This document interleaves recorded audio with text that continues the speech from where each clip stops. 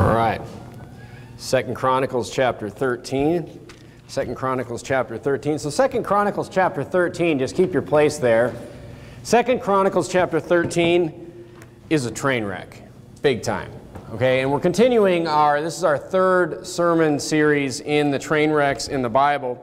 At some point, we're going to have to end this sermon series because there's just too many train wrecks in the Bible, quite frankly, to, we could just have a sermon series for a year on train wrecks in the Bible, but this is a big one in Second Chronicles chapter 13. So I haven't heard a lot of preaching on this particular situation, and you say, Well, I've heard this story before, but I want to give you um, what we can take out of this particular situation in Second Chronicles chapter 13. So, to understand what um, I want to apply this evening, first I want to give you a little bit of background on the history of what's going on here. So, Second Chronicles chapter 13 is talking about this war between this king of Judah called Abijah and the king of Israel called Jeroboam. But first, we need to understand what has happened here. Turn back to 1 Kings chapter 11 in your Bible. All of this mess that we read about in 2 Chronicles chapter 13 begins with King Solomon. It begins with King Solomon. It begins with David's son. Okay? Solomon Look in verse uh, number 9 of 1 Kings chapter 11. The Bible says, And the Lord was angry with Solomon because his heart was turned from the Lord God of Israel, which had appeared unto him twice. And God commanded him concerning this thing that he should not go after other gods, but he kept not that which the Lord commanded. Wherefore the Lord said unto Solomon, For as much as this is done of thee, and thou hast not kept my covenant and my statutes, which I have commanded thee, I will surely rend the kingdom from me. That means I will take the kingdom from you, and I will give it to thy servant. Notwithstanding, in thy days I will not do it, for David thy father's sake, but I will rend it out of the hand of thy son. Turn to 1 Kings chapter 12, just one chapter over. So this decision was made because of the actions of King Solomon. King Solomon turned from the Lord. He married all these hundreds of wives and he started going after their gods. He started building temples for their gods and all these different things. And God basically takes the kingdom away from Solomon. God makes the decision under King Solomon's rule that, you know what, you're going to lose the kingdom. He said, but for your dad's sake, for David's sake, I'm not going to do it to you. I'm going to do it to your son. So when he basically prophesies, he tells Solomon what's going to happen under the reign of his son. Okay, and in 1 Kings chapter 12, look at verse number 20. And it came to pass when all Israel heard, so this is already to the point where, you know, Rehoboam has already just not listened to the people, and he said, you know what, you're just going to do what I say. And Jeroboam has already decided that, you know what, I'm just taking 10 tribes with me, I'm, and this is the split of the kingdom that God told Solomon was going to happen. And it came to pass, verse 20 of 1 Kings 12, and it came to pass when all Israel heard that Jeroboam was come again, that they sent and called him unto the congregation and made him king over all Israel. And there was none that followed after the house of David, but the tribe of Judah only. And when Rehoboam was come to Jerusalem, he assembled all the house of Judah with the tribe of Benjamin. So there's two tribes that really went with him, and some of the Levites as well a hundred and fourscore thousand chosen men, which were warriors to fight against the house of Israel, to bring the kingdom again to Rehoboam, the son of Solomon. But the word of the Lord, now don't, don't miss this, because this is the key to what I'm getting at here. Don't miss verse number 22 and verse number 23, where the Bible says, But the word of God came unto Shemaiah, the man of God, saying, So basically, Rehoboam has just lost the kingdom to Jeroboam. Jeroboam has said, No, I don't like the way your answer was. I'm taking the people with me. He takes 10 of the tribes. This is the split between Judah and the northern kingdom of Israel, right here. Okay? And Rehoboam, what does he do? We're going to war. He says, We're going to war. So he starts gathering men together to go to war. And they're going to go and they're going to fight Jeroboam and they're going to bring the kingdom back together. Makes sense, right? I mean, as soon as some, you know, person, you know, splits the kingdom, we're just going to go get him back, right? But God says no to Rehoboam. And he says, Speak unto Rehoboam, the son of Solomon, king of Judah, and unto all the house of Judah and Benjamin, and to the remnant of the people, saying, Thus saith the Lord, Ye shall not go up, nor fight against your brethren, the children of Israel. Return every man to his house, for this thing is from me. So, what God tells Rehoboam is don't go and fight them. This thing that has happened is my doing. He's like, it is my doing that Jeroboam has taken, it's judgment. This thing that happened is judgment. He's like, don't go to war. What do you think would have happened if Rehoboam would have went to war? He would have lost, okay? Because God was not, like, the split was of God, okay? They hearkened, therefore, to the word of the Lord and returned to depart according to the word of the Lord. So all of this the split was of God. Okay? The split of the, I mean, that was God's choice to do it. And then Rehoboam wants to bring the kingdoms back together, and God says, no, don't do it. He's like, it was my choice, it was my judgment. It's payment for what your, your father did. All right? But here's what wasn't of the Lord. Okay? So, Second Chronicles chapter 13, we see another war happening. And you're like, what? I thought they weren't supposed to go to war. What, what sense does this make, right? Look at verse number 26 of 1 Kings chapter 12, where you're already at. So you're in 1 Kings 12. Just look down a few verses at verse number 26. Now things start to go wrong. Okay, look, this was God's plan to split the kingdom. And it happened just the way God said it was going to happen. But in verse number 26, and Jeroboam said in his heart, Now shall the kingdom return to the house of David.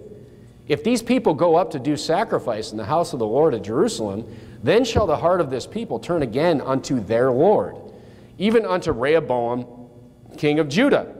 And they shall kill me, and go again to Rehoboam, king of Judah. Whereupon the king took counsel, and made two calves of gold, and said unto them, It is too much for you to go up to Jerusalem. Behold thy gods, O Israel, which brought thee up out of the land of Egypt. And he set one in Bethel, and he put the other, the other he put he in Dan. And to this thing, and this thing became a sin, for the people went to worship before the one, even unto Dan. He made the house of high places, and he made priests of the lowest people, which were not the sons of Levi. So here Jeroboam basically is he's paranoid.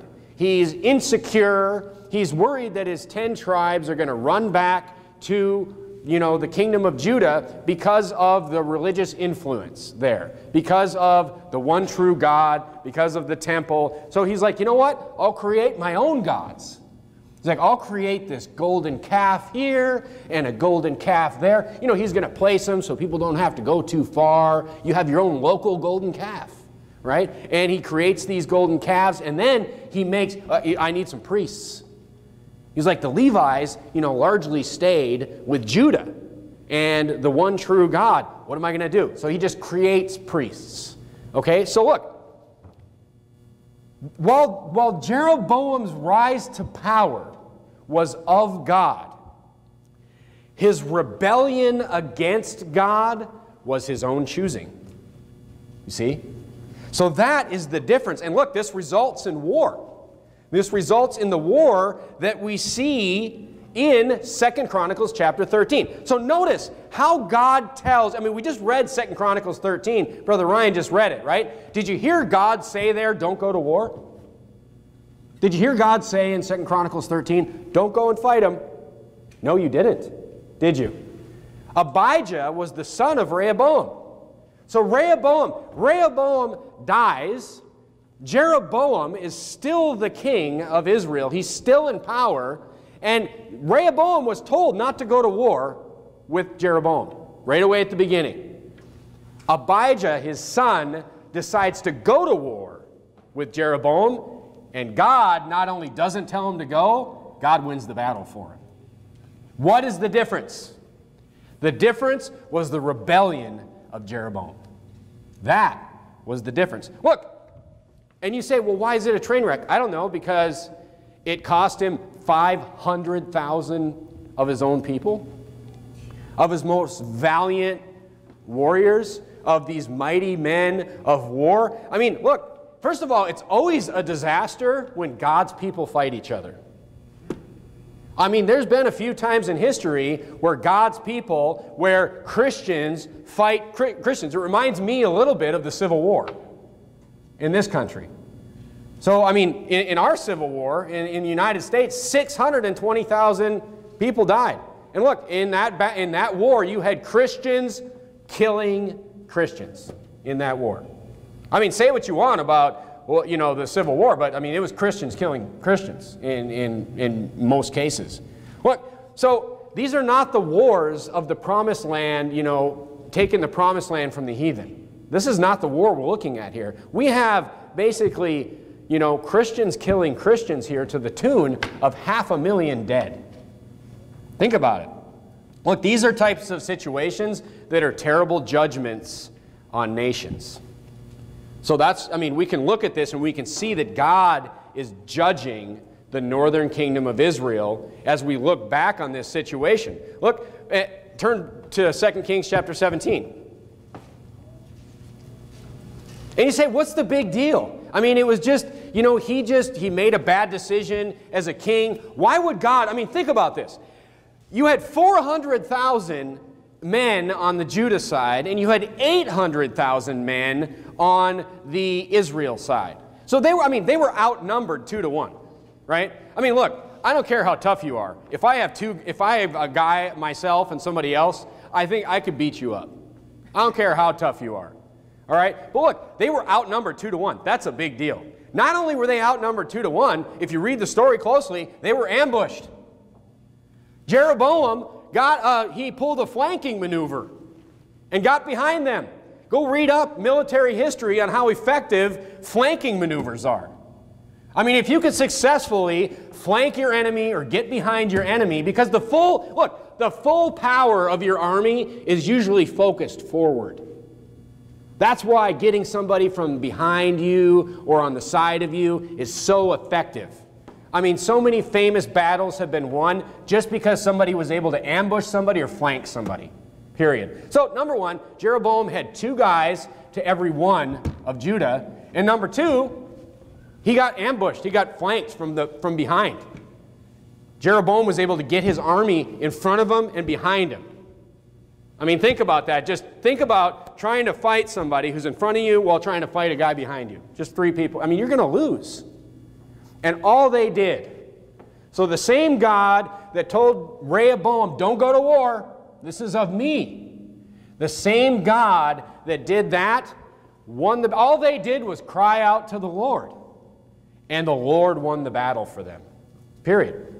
Because of Jeroboam's rebellion. You say, well, okay, he was just a bad king, right? But why is the rebellion of Jeroboam such a train wreck, other than the fact that all these people died? It was such a train wreck because are you in 2 Kings chapter 17? 2 Kings chapter 17, we're looking at King Hoshea here, the last king of Israel.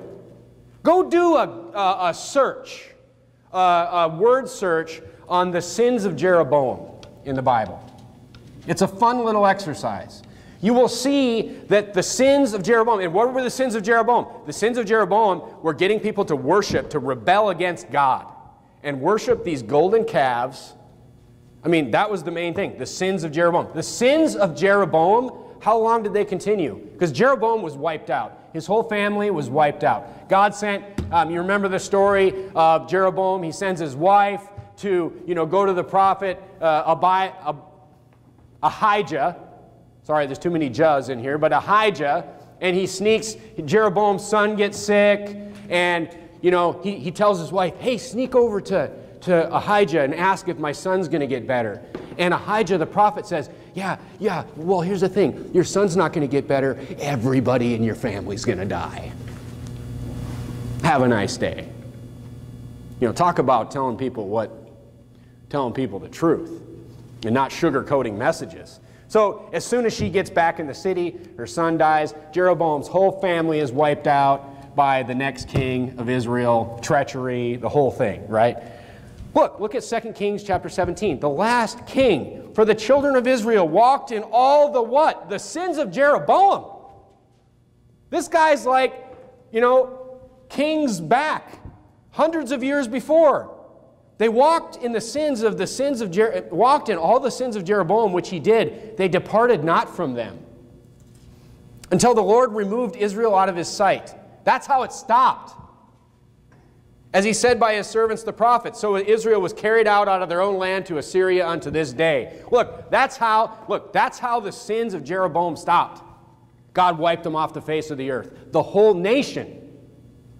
So he wipes out Jeroboam's family, and then the way God stops this sin that he started, this rebellion that he started, is he, he wipes the whole nation off the face of the earth. The ten lost tribes of Israel. That's how it ends, right there. So you say, you know, what, what are you getting at? Well, first of all, it's a train wreck, right? Would you agree? I mean, that it applies in, in the Bible. But look, here's the, th- here's the application for us rebellion against the Lord will not be taken lightly. It's a serious sin. Turn to 1 Samuel chapter 15. We talk a lot about the structure and the obedience that we are to have to God. But I think that sometimes we read the Bible and even in our own lives, we forget how serious it actually is. Look at 1 Samuel chapter 15. Look, Saul, Saul, he, he, did, not, he did not obey the, the word of God.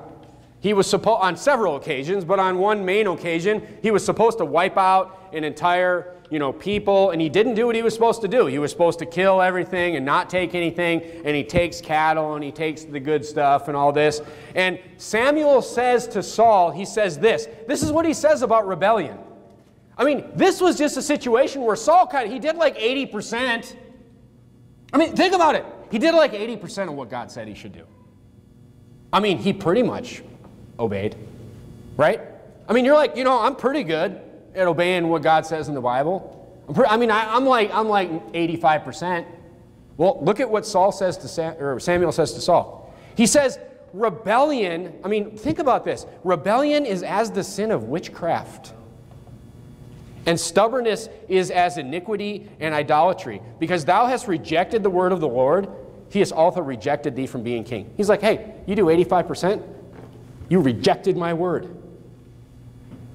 No, it, it's, it's all or nothing. Have you gotten that theme from, from Bible preaching yet? That it's all or nothing with God?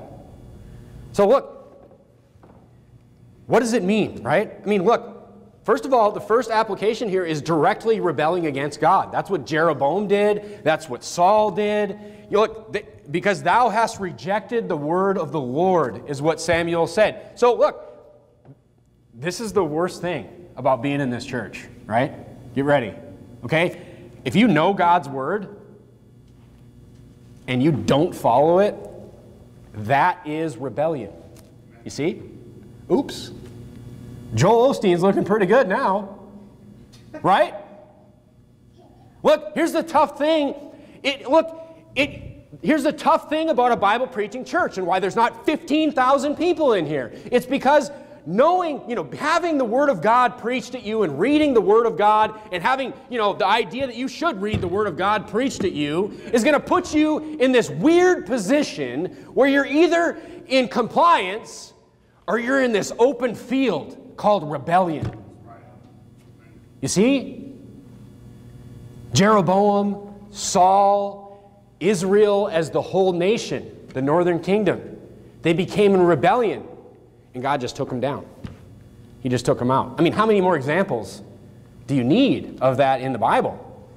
So, first of all, you could rebel directly against God. If you sit in church, if you read the Bible, if you know what the Bible says, and you just, as a saved believer, you rebel against that, I want you to know that it's serious. And you don't have to worry about me or pastor or any, I mean, God's going to take care of it. God will take care of it. It's that simple. But there's more. You're like, oh, what? There's more. God has a structure for your life. And if you get outside that structure, it's rebellion.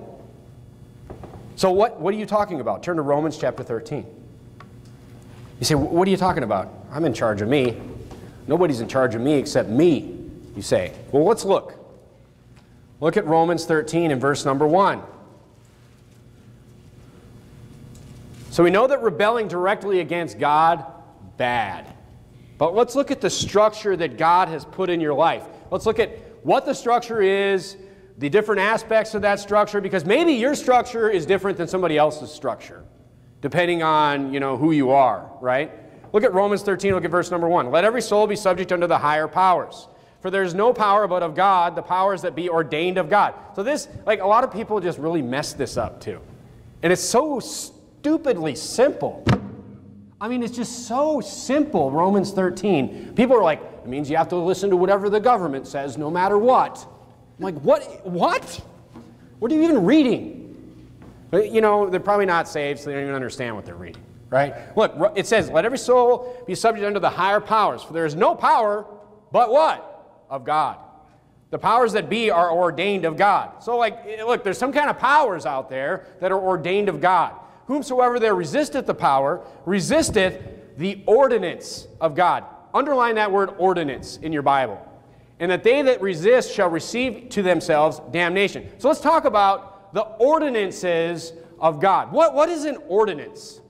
If you look at like what, an, what the word ordinance actually means, an ordinance is a rule enacted by a local authority. Okay, so look, there, there's, there's different kinds of authority, right? I mean, there's centralized, like upper level authority, but an ordinance is not like a rule from, like, so it, let me give you an example. An ordinance isn't a rule from the federal government. That's not an ordinance.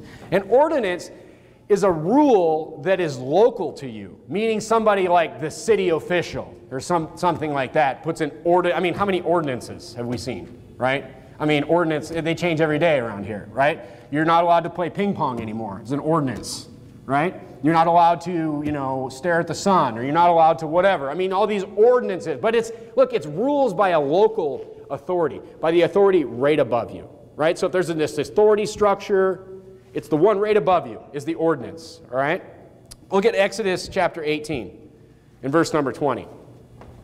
And I'll read for you Leviticus chapter 18, verse 3, while you're turning there. The Bible says, After the doings of the land of Egypt, wherein ye dwell, shall ye not do. And after the doings of the land of Canaan, whither I bring you, shall ye not do. Neither shall ye walk in their ordinances. So he's saying, look, when you go into these, these cities and you take over the, I mean, that's why God was like, you got to get rid of these people, or you're going to become these people. Right? He's like, but he's like, when you go into these cities and you meet these other people and you come across these people in the land of Canaan, he's like, hey, don't walk in their ordinances. Don't follow their rules, their local rules there. He's like, don't do it. Look at Exodus 18, verse 20. And thou shalt teach them ordinances and laws, and thou shalt show them the way which, wherein they must walk and the work that they must do. So we see that this rule and structure is, is put, it's directly over you in Romans 13. That's what it's talking about. It's talking about Romans 13 is talking about the biblical authority structure in your life. Okay, and it's saying that, like, look, there, there's, there's a structure that's put over you. So think of yourself, there's an authority structure over you. So it's not just God that's in charge of you. I hate to break it to you. There's a structure there. All right? And these are the higher powers that are over everyone. All right? So look, whenever you willingly operate outside of that structure, it's rebellion. You say, I know the structure, I understand the structure because you're teaching me the structure right now. I'm going to teach you the structure right now. So after tonight, you have no excuse. Does anyone want to leave right now? Look, it's rebellion if you get outside God's structure. All right? Especially, look, especially as a Christian, if you have problems with authority, you are going to have a hard life as a saved believer if you have problems with authority. Everybody has people that are ordained over them in authority positions. You say, How? Not me. I'm in charge. No one's the boss of me. Well, let's take a look at it. Turn to Colossians chapter 3. Colossians chapter 3. Let's look at the family first. God has ordained a structure for your family. Did you know that? Look at Colossians chapter 3 and look at verse number 18. The Bible says in Colossians 3:18, it says, "Wives, submit yourselves unto your own husbands as it is fit in the Lord." Did you know that men are to be the leaders of the household in the Christian family? That's what the Bible says. Men are to lead their wives in marriage. Women are to I mean I've heard that now there's weddings where I heard this 10 years ago, 15 years ago where they don't they don't read things like, you know, you have to submit to your husband during the wedding ceremony because it's offensive. I'm just like, okay, this this this marriage is going to go well. Right? right? Let's just let's just reject God's structure before we even get started. Right? I mean, what could go wrong? But look, I believe that this is one of the major reasons even secular marriages fail. Right here. Because look, God has a structure and it, it's, it's pragmatic as well. All God's laws, they, they are that way for our protection and it works. And it's because it's designed to work that way. So, if, look, if the husband doesn't lead the home, it's just not going to work well. It's just not going to work well. Like, even worse, if the wife is like in charge you're saying, what do you mean? Look, you will meet men in this Christian life, and I'm sure you know some, where the wife is running the house. You will see it. And it sticks out like a sore thumb, by the way. Even in churches like this, or Bible preaching churches, you will find this situation. Men who are ruled by their wives. You say, ah, man, I can't believe you say this. It's in the Bible. Like over and over again. It's the structure of the family. But look, you will not meet people like this where it's working well. You will not see it because it's not God's structure. You can't turn God's structure on its head and think that it's going to work out well. It's not, it's not, I mean, he's the best designer that's ever been, that ever will be. He knows how things work. Because look, here's the thing Here's the thing, and here's really the reason that it won't work well. You say, oh, you're just saying that. No, because it's a rebellion situation. That's why. You see how it applies? It's a rebellion situation. Because look, the man doesn't want it that way.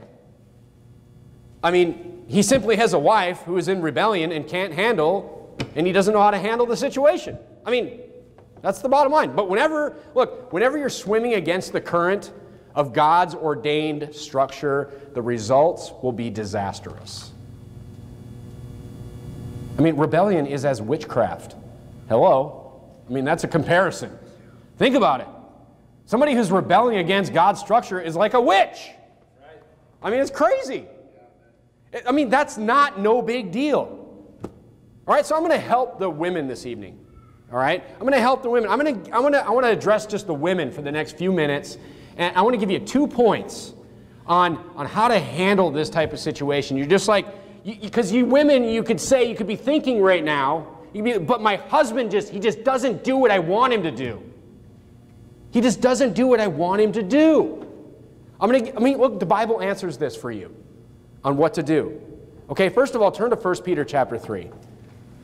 You say, but I have to be in charge because I have to get him to do what I want him to do and I'm right and he's wrong. Well, let's, let's take a look at what the Bible says you should do. Look at 1 Peter chapter 3 and verse number 1. Look, I'll give you two simple points on how to fix this problem, ladies. The Bible says in 1 Peter chapter 3 and verse number 1, Likewise, ye wives, be in subjection. There it is again to your own husbands, that if any obey not the word, that they may, be, they may, without the word, be won by the conversation of the wives. Look, who's it talking about not obeying the word? It's talking about the husband. It's saying that, that they may also without the word. So here you have a wife who's in subjection to a husband, and he's like not obeying the word. We're going to get some direction here, okay? Look, in verse number two, it says, While they behold your chaste conversation coupled with fear. They, they, they may be won by the conversation of the wives while they behold your chaste conversation with fear. So here's point number one. You say, he's not doing what I'm supposed, what I want him to do. First of all, he's not supposed to do what you want him to do. Point number one, you're supposed to be in subjection to him. That's the bottom line. So women that, that does this, turn to Proverbs chapter 21. Look, here's what kills me. Here's what kills me. Bossing your husband, it, it won't work anyway. It, it doesn't work. Look at Proverbs 21 and verse number 9. The Bible says in Proverbs 21 and verse number 9, look, it is better to dwell in the corner of a housetop than with a brawling woman in a wide house. Here's a guy with a huge house. He's got a brawling wife, and he just wants to go and hide in the attic. And the Bible says elsewhere it's better to be in the wilderness. It's like, you know, that, a, that an angry woman is like a continual dropping. Look, he's just gonna, he's just going to want to get away. He's just not going to want to be around that. He's going to hide from you, is what's going to happen. So here's the thing you're like, I'm trying to get him to do what I want him to do. It's not going to work to just try to boss him around. It doesn't work. The Bible tells you in verse number two what to do. And you say, but, but I have to get him to do what I want because he's doing things that are not godly. You say, I've got to get him to do what I want, what I, what I need him to do, because he's doing things that are not godly. Well, that's where, you know, verse number two and number three of First Peter come in. Because look, point number two is it tells you how to solve this. And it says, look, if he's tell first of all, Romans 13 takes care of you. If he's tell ladies, if he's telling you to do something that's not godly, you don't have to do it. Because you are in authority, the, the higher powers have authority over you. So if he's telling you to do something that is against what God tells you to do, guess what? God outranks him. That's why it puts in there, obey the higher powers. So your highest power is God. You say, okay, well, he's not, he's not trying to get me to sin, but he's just in sin. What do I do about him? Go back to 1 Peter chapter 3. Bossing not working. I boss him around and then I can't find him because he's in the woods. So what do I do? Here's what you do. It says that if any obey not the word, they also may without the word be won. That means be convinced by the conversation of the wives. Later, it talks about you know, how that conversation is to be chaste in the same chapter here. It says a few verses down that, you know, a woman's beauty to her husband, and single ladies take some advice from this because the Bible says a meek and quiet spirit. It talks about in 1 Peter chapter 3 how, you know, women shouldn't, hey, her beauty isn't of adorning herself with pearls and her hair. Now, look, it doesn't say don't do those things. It, it just says that's not to be your beauty. You know what your beauty is to be? Wives and single ladies, listen. You say, well, you know, I, I don't know if I'm the prettiest girl. Look, it says that your beauty is to be a meek and quiet spirit. That is what is to be attractive to you, and that will win your husband. That will, that's how you win your husband. You're like, he's, he's doing things that I, be, be chaste, have a meek and quiet spirit, that your chaste conversation, he may be won over to you. I've seen it happen. It works. It works. I've seen women turn their husbands around by this type of methodology. But it's, look, it's God's plan, right? So there's a structure. Women, they, they need to be, look, because no matter what, you can't exit God's structure. So you're like, I have a problem. Well, you have to operate. God tells you, women, wives, how to operate and fix that problem within His structure. You see? Because look, if you're chaste and your conversation is chaste, which means pure, and you have a meek and quiet spirit, and you're in subjection to your husband, look, that, that will turn him around. That will turn him around if he's in sin and doing that, or it, it has a better chance of turning him around. It's God's plan for you to turn around your husband. That's how you influence wives, your husband by being in subjection and just being chaste and having a meek and quiet spirit, which is the opposite of this brawling woman, this contentious woman that will just make him want to go dig a hole in the woods and just lay in it and bury himself with dirt. Right? So, look, that is the method. And, and it works. I mean, not nagging, right? So, follow God's structure, and then He gives women a little bit extra there to say, you know what, I can understand. I mean, well, God cares about women. God cares, like, He understands that if He puts a structure over a wife, that there's going to be some husbands that mess that up and don't lead like they're supposed to lead according to the Bible. So He gives them an opportunity to influence there in a godly way. So follow that methodology. You might be surprised. All right? Children, kids, turn to Ephesians chapter 6. Whenever you step outside the authority structure that God has put in place for you, it's rebellion. And the results will be disastrous. You're like, hey, I'm just a kid. Well, this is a family integrated church, so that part of this sermon is for you. Look at Ephesians chapter 6 and look at verse number 1. Children, look, the Bible, look, children, the Bible talks to you. God talks to you in His Word. He literally, I mean, He starts the sentence here children. Children. So I'm speaking to the children. God is speaking to the children. Children, obey your parents in the Lord, for it is right. Honor thy father and mother, which is the first commandment with promise, that it may be well with thee. Don't miss this. Children, are you listening? Then thou mayest live long on the earth. What is that implying? It says, hey, kids, obey your parents, that you may live long on the earth. Does that imply, what does that imply? That if children disobey their parents and children are in rebellion to their parents, that implies that it has something to do with how long they will physically live. Children, are you listening? Under your parent, you are under the authority of, as long as you are under the authority of your parents. Let me ask that. I mean, first of all, I mean, Hophni and Phinehas, how long did they live? God killed them. And especially, look, especially, this needs to be remembered, especially as children get a little bit older. All right, because you're like, well, you know, it's pretty easy to keep a four or five, six year old under your authority. But look, as these kids get older and they turn into what we call, you know, teenagers, and they start to, you know, become young men and young women, you know, they start to, and if they, look, especially, look, especially, and here's the rub, right? Especially if they, they know the Bible and they're following the Bible, and guess what? God throws a blessing here and there and they start having some, you know, putting some W's in their, in their corner, some wins. They're like, hey, I'm doing what God says, and like things are working out. I know everything. Whoa, what just happened there? Right? But look, especially as kids get older and godly kids, okay? Kids that are doing what they're supposed to do according to the Bible, there's danger there. Be careful. You still have an authority structure in your life, and it is there to protect you.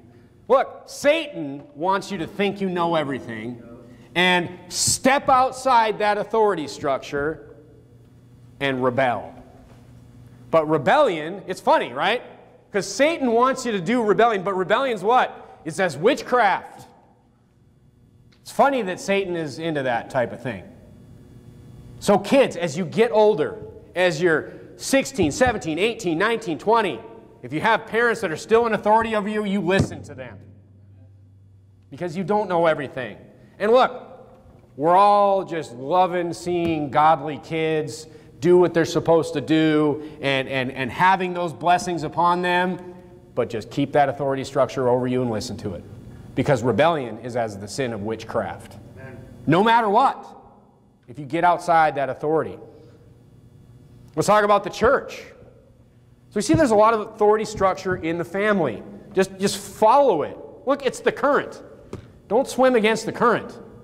You know, I always told the kids, I went, I always went kayaking with Garrett, and we went on these big kayaking trips on the Yellowstone and the Missouri River. And I always told Garrett, even though he had a, so many people drown in rivers, and here's why it's not because they don't know how to swim, it's because they fall out of the boat or they fall out of the kayak and they try to get back to that spot that they fell out at.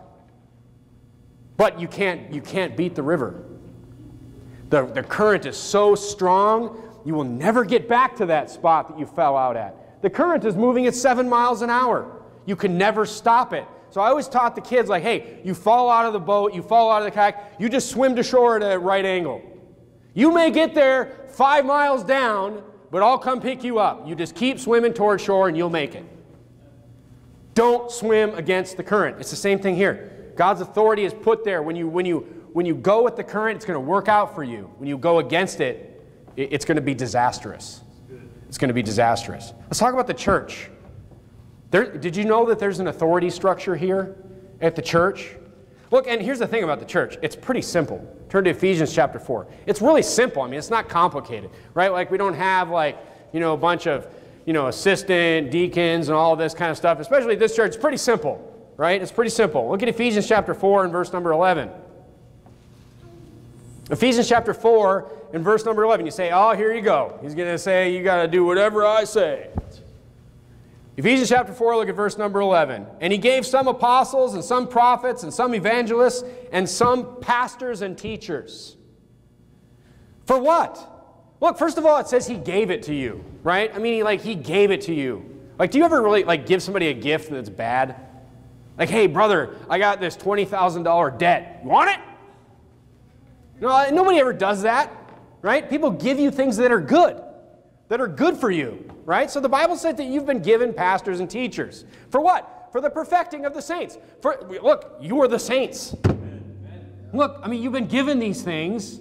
It's a good thing. Hopefully, it's a good thing in your life. You've been given these things for your own perfection. You've been given these things so you become better. Look, and I'm not going to perfect you. I hate to break it to you. Because I mean, I, I gotta, I'm imperfect myself. But look, I mean, the Bible says that God has given you this. And look, people, turn to Hebrews chapter 13. People that can't accept authority in their life are just, they're not gonna, it's not gonna go well for them in a church. I hate to break it to you. I've seen people thrown out of church for this one reason. They just can't accept, accept authority in their life. I mean, they can't accept it with, you know, family, at work situations, in, in anything, and it's, they certainly can't accept it at church. It's just not going to work out for people like that. I mean, just that one reason. He's like, what did they, were they into? No, they just couldn't accept authority. It's that one reason. They, you know, that's it. It causes all kinds of problems. Look at Hebrews chapter 13, look at verse number 7. It says, Remember them which have the rule over you, who have spoken unto you the word of God, whose faith follow. Consider considering the end of their conversation. So it says, remember them. Eh, remember who? The people that have the rule over you, who have spoken unto you the word of God. These are, look, there's just an authority structure in a church. If you can't, if you can't deal with the way thing, look, it doesn't, look, it doesn't invalidate the authority structure that we've already talked about, right? I mean, you obviously, men, you're in charge of your family. That's your authority right? You have authority over your family. So, look, if you can't handle the way things are done in church, in a church, just take your authority structure somewhere else. That's the answer, right? I mean, there's nothing wrong with that because, like, how the church runs is not your wheelhouse, period, right? I mean, look, maybe some pastors are really open to conversations and, like, um, you know, letting, you know, getting people's opinions, but look, maybe some aren't. I mean, I have my opinions on the mix and how this should go, but I mean, they're just, I'm not a pastor, so my opinions, what do they mean? They mean nothing right now. Okay? But look, whether a pastor, you know, believes that he should get people involved in every decision, or whether he believes that he shouldn't, it's his call. I mean, that's his authority in, in the church. It's his structure. It's their ordained position. You see what I'm saying? It's up to the pastor. It's their responsibility. You say responsibility? What responsibility? Look at Hebrews 13 and verse number 17. This is the responsibility. Do you want, do you want it? Look at what it says in Hebrews 13, verse 17. Obey them that have the rule over you. There it is. Again. And what? It says, and submit yourselves. It's like just, just submit yourself to that authority structure. Period. For they watch for your souls. It's like they're there to protect you. What are they watching for? They're watching for your souls against this roaring lion that is walking around, trying to pull you away into all kinds of sin and, and, and so ruin your own life, this, this, this magnet that's trying to pull you out of every authority structure in your life. So, you, you, know, the, you know, the devil would love to get you in rebellion against God, against your husband, against your parents. He would just love that. Because he knows that God, and you, he, look, he can't get you unsaved. God can't get you unsaved. Or, I mean, I'm sorry, Satan can't get you unsaved. But he can, he can get you in a situation where God will smash you into the ground. Because look, God's not going to let rebellion go. I mean, look what he did to Jeroboam. He killed 500, he killed half a million people, children of Israel, which he eventually just wipes off the face of the earth. And Jeroboam, he kills his whole family. Everybody. Even his children. There's no more Jeroboam family anymore. So look, you, you are not accountable for what happens here. I am. The pastor is. I mean, look, I mean, I take that seriously because look, that's that's between God and myself. If I'm letting something ungodly happen here, look, that, that I have to answer for that. It says, as they must give account. But look, Here's the thing about this verse. I, have heard this verse used a lot to be like, look, I, I have to give account about, look, Brother Matthew, I'm going to be talking to God about everything about you. So you better be really nice to me. My birthday is on June 1st. You know, but here's the thing. That's, I have to give account on how this, this situation was running here, right? But look, the Bible does say in the next verse, it says, look, if I have to give a bad account, like, you know, I messed it all up, I messed this whole thing up. And there was people in the church that just like were just rebelling against me and I couldn't handle it. And there was sin and it just spread everywhere and the churches got wrecked and the candlestick got removed. Look, that's on me, man. But look, it's unprofitable for you too. Because especially, you know, if you get into sin or you cause trouble or whatever, look, I mean, I'm going to give account of the whole story and it's on me but it's unprofitable for everybody. Right. right? If this ship's, I mean, look, if the ship sinks, the captain hit the iceberg, right? But everybody dies. You see what I'm saying? It's kind of the same theory. I'm, I'm really into boat analogies today. I don't know why. They're just like popping in my head. But look, here's the thing. Here's the thing. So you're not accountable. I mean, look, there's rules here. There's a structure. You're accountable to those, that structure. But you're not accountable to God for how this runs. You know, the pastor is. The pastor is accountable to that. The leader is. You say, I want to be accountable, so go into the ministry. You say, oh, man, I really want to be accountable for a church. Go into the ministry. You know, do you qualify? Go look in, in, the, in, the, in the qualifications and see if you qualify. And go into the ministry. Put in the work. Get ordained. Start your own church. Get sent out. You can. Look, I'm not being sarcastic. You can do that. If you're qualified, you want, you're like, I want to put in the work. I want to do all this stuff. I want to just, I want to just serve and serve and serve. And I want to go into the ministry and I would like to be accountable. Look, we need people that are going to do that. Right? We need men that are going to do that. Look, if qualified, do it. But if not, and for now, just respect the authority ordained over you. And like, there, I think Pastor Jimenez has said this like many times. Look, if you can't follow, you will never be able to lead. There, there is so many, I mean, that is so true. If you can't follow, you will never be able to lead. If you're this type of person that you get in every situation, wherever it is, you're just like, I know better than that guy. I know better than everybody. I know better than, you know, look, you will never be able to lead. That's, that's the bottom line. There's so many people like that too. It's ridiculous. But look, disrespect the authority ordained over you in the church. Otherwise, guess what? It's rebellion. All right? So, everyone, turn to 1 Timothy chapter 6. Everyone has people over them, folks. Everybody. Even at work, 1 Timothy chapter 6 says, Let as many servants that are under the yoke count their masters worthy of all honor. Look, everyone is in subjection to someone. The believer, especially, has structure in their life for their own protection. Kids, wives, church members, employees. Look, it's not about this sadistic control or whatever. It's God's structure. I mean, look, look at uh, what God says in, in John 14 is, if ye love me, keep my commandments, right? God says, if you love me, keep my commandments. So if, if we're to love God, we're to show our love towards Him by listening to the Bible and listening to the commandments in the Bible. But here's the thing He has showed, let's flip this thing on its head for a second. He showed us how much He loves us by, of course, dying for us and giving us our salvation, but He showed us first how much He loves us by giving us those commandments. You see what I mean?